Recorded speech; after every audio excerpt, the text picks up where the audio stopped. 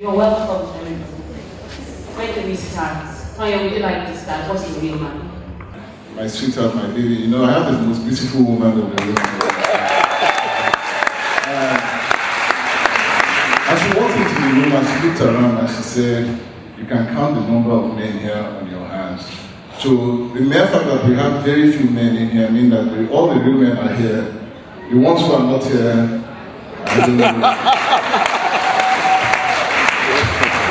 Well, that's one definition. I wasn't sure when women are being discussed. Ones who are not afraid, you know. What do you think? What is a real man? People really want to know. They asked me on Twitter yesterday. I, I wanted to Mr. A, but he's taken his spoken for. So. Good evening, um, very distinguished ladies and gentlemen. A real man, or one of the ways you can describe a real man, I think is a man that lives in a city like Lagos, um, challenging and uh, at times frustrating. Uh, but they are able to live uh, in Lagos, keep a career, and most importantly, keep a home together. I think that's a real man. So, thoughts on that, I, a real man? Uh, good evening, everyone. Um, it's a tough uh, question, but if I sit within the ambient of simplicity, I'll say a real man. The English wasn't A real man is one who embraces responsibility.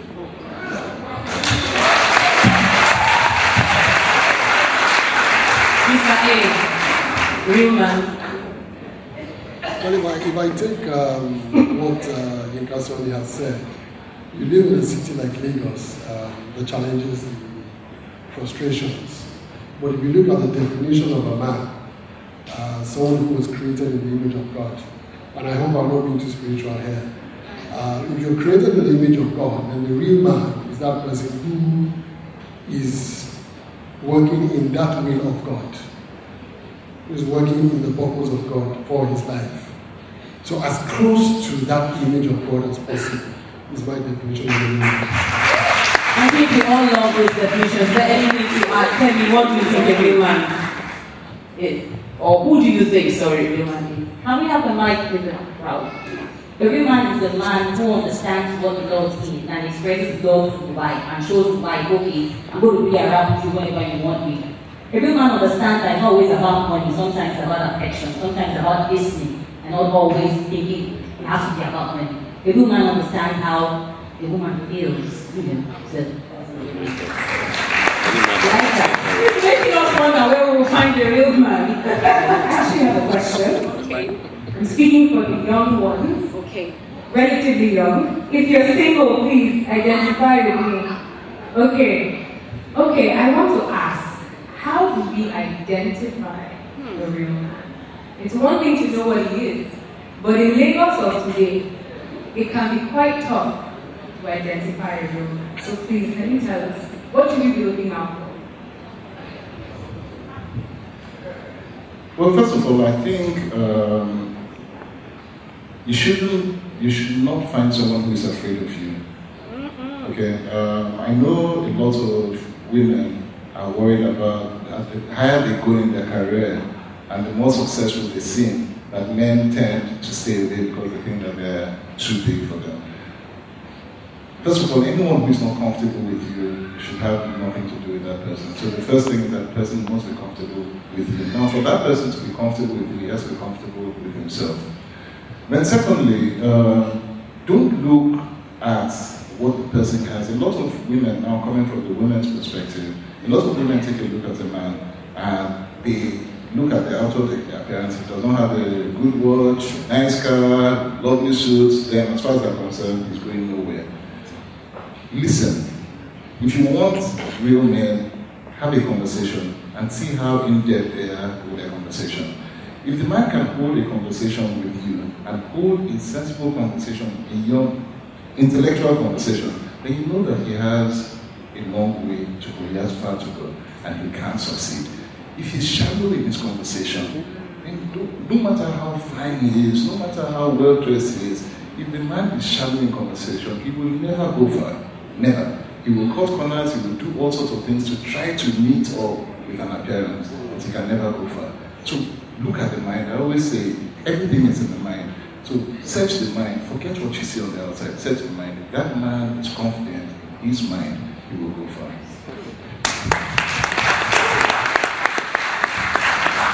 A confident man. I don't know how many relationships where they discuss.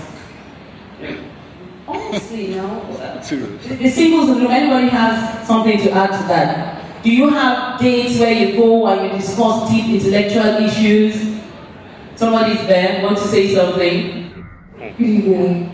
Um, just as Mr. Twyko was speaking, I was disagreeing with him a bit because a lot of times you meet men that are deep in conversation. A lot of the women that I hang around are not interested in material things, are not interested in kindness, and are not moved by an appearance of wealth, hmm. and neither not moved. So they, they, we are moved by want to speak for my constituency.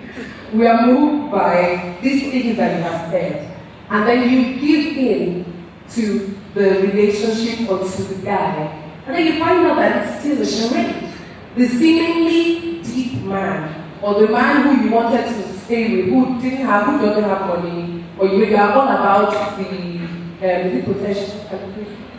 Potential, you, know, you're not saying have a car, this amount of money, I will be you, I will stand, I will struggle.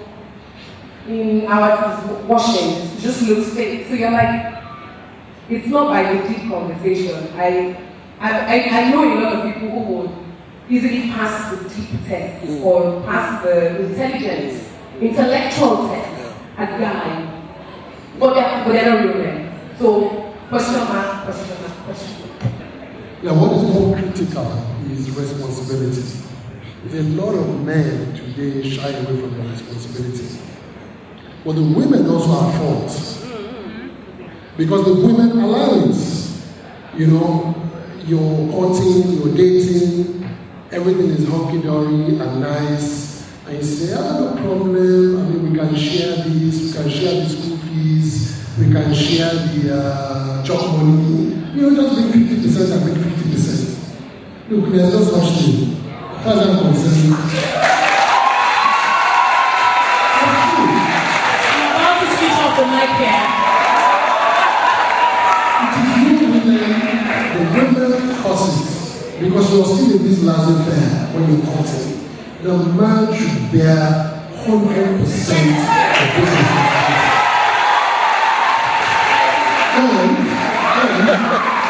I mean, I can list it. School fees, mortgage, clothes, children education, diaper, driver, houseboy, houseboy, almost everything.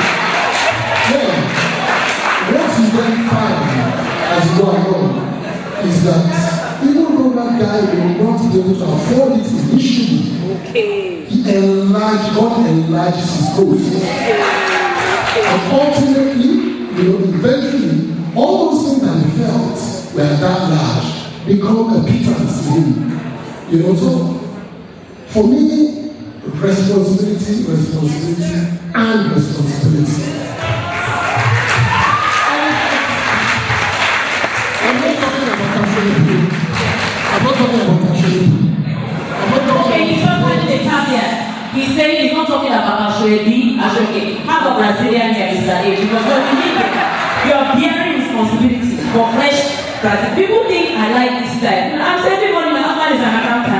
We will you in Casabella very soon. Then you see, I don't preach about who here again. I now like it. So Mr. A says you bear every responsibility, including your wife's hair. Give him a hand.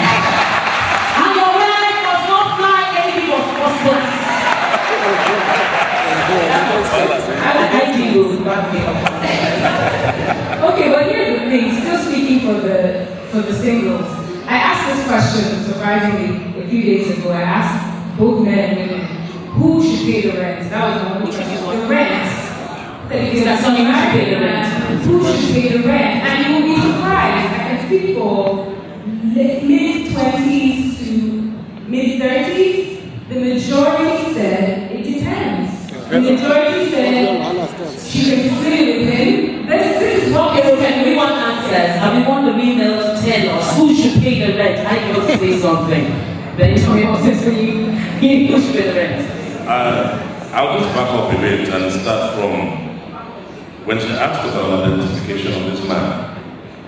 The big question is this Is it the role of the woman to find a man? Because identification is finding.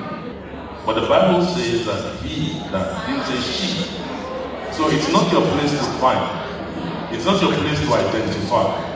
The capacity of a woman is inside out. That of a man is outside in. That's a fundamental need. So when you start looking for a man, it's not your place to find. I'll leave the rest, but it's absolute irresponsibility on a man not to pay rent. I started by saying a real man is one who embraces responsibility. And like Cody rightly said, I agree with him 100%. But times are hard. No, times are not hard. It's faithful men that are hard to find. No, no, no. Let's it. You know, I, I'm, if, if, you know something, I, let me use my, and I, I thank God for the wonderful woman that has been in my life for 20 years.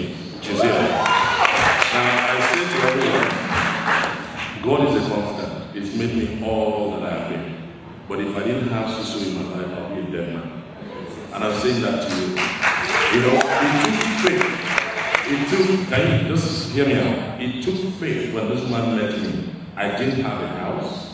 I didn't have nada.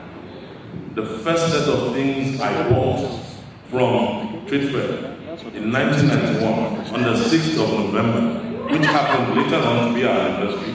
She went with me to Trade to buy the mattress, we're just cutting. She bought the mattress, she's sitting here, you can ask her. We went to Total to buy the easy cooker. And guess where I left everything? It was in her house. She had a two bedroom apartment in Ilupeju. Hmm. And I was at the hotel working for Guinness. Now, it took faith for her to see that this man had a future, was going somewhere. The question to women is, what do you see? Thank you.